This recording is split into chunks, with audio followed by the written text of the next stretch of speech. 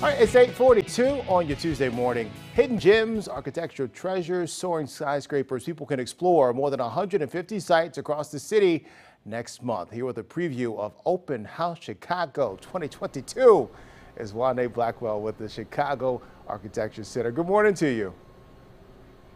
Good morning to you. Uh, this is really exciting. Clearly, as we can see, both of us are smiling, uh, beaming this morning. This is a big deal. And this is the first time in two years because of COVID that you guys are, are back to full scale for this event. So, so tell us what people can expect this year and some of the new sites people can check out.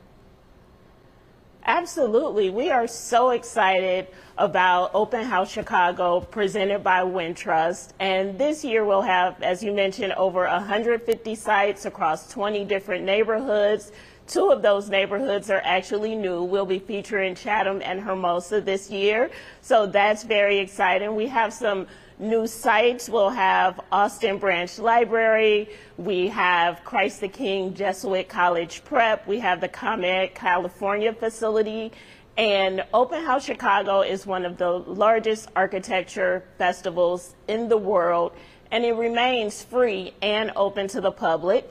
And also at the center, we'll be featuring the Say It Loud exhibit, which is done in collaboration with NOMA. National Organization of Minority Architects. And that is a global traveling activation which features architects of color. So tell me, why do you think Open House Chicago is so popular year after year? Why is it so beloved by so many? It is so beloved because people just really have a chance to go back, back backstage and explore different dining restaurants, different skyscrapers that they normally don't have access to.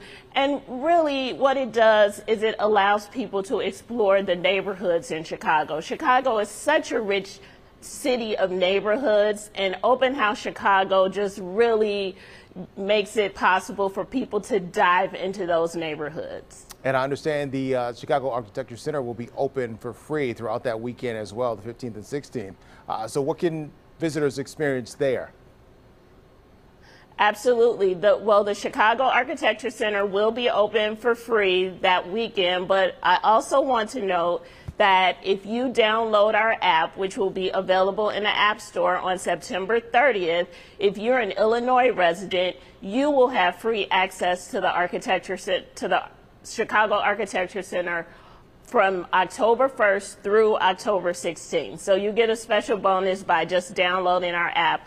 But in the center, you'll be able to see our new watercolor exhibit, our energy revolution exhibit, and as I mentioned, the Say It Loud exhibit, along with our fantastical city model.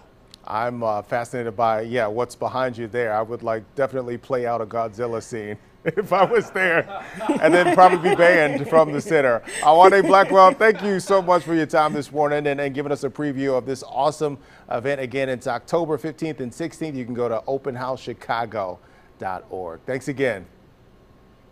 Thank you.